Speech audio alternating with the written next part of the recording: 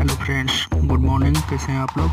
आज मैं फिर से आप लोगों को एक नया वीडियो दिखाने जा रहा हूँ, जिसमें आपको दिखाएँगे कि एस डी पी पाइप को कैसे ज्वाइंट करते हैं। तो मैं ज्वाइंट करके तो नहीं दिखाऊँगा, मगर इतना मैं दिखा दूँगा कि आपको ये ज्वाइंट किस मशीन से होता है और कैसे होता है। इसके बारे में मैं फुल्ली जानकारी दूँगा तो आइए शुरू करते हैं।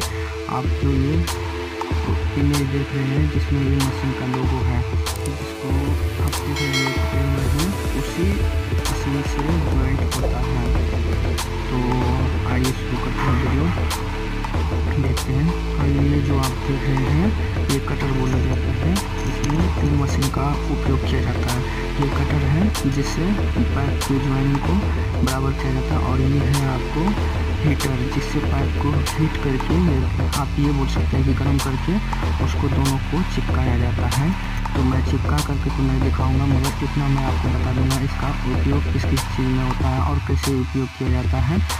तो आइए आप लोगों को जानकारी देते हैं। तो आप देख रहे हैं हीटिंग का मशीन और इसमें मीटर भी लिया इसमें दो बटन भी दिया गया है, जिसके बाद आप लाइट देने के लिए हरा का उपयोग कर सकते हैं और ज़्यादा हीट होने पे गर्म का ऑप्शन दिया हुआ है, जिसमें रेड दिखाई देंगे आपको।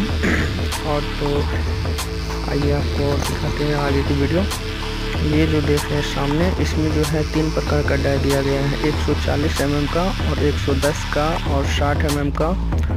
और इसमें आपको 40 एम mm का भी दिया गया है और 20 एम mm का भी है। तो इसमें तीन, पाँच प्रकार का डाई है, जिसमें ये हर प्रकार के पाइप को गर्म करके उसको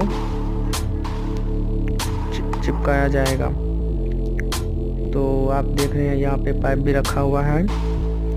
और आप देख रहे हैं यहाँ पर इसका तीनों मशीन भी यदि आप लोगों को हमारा वीडियो अच्छा लगे और नया वीडियो देखना चाहते हैं, इस प्रकार का तो हमारे चैनल को सब्सक्राइब कर लीजिए।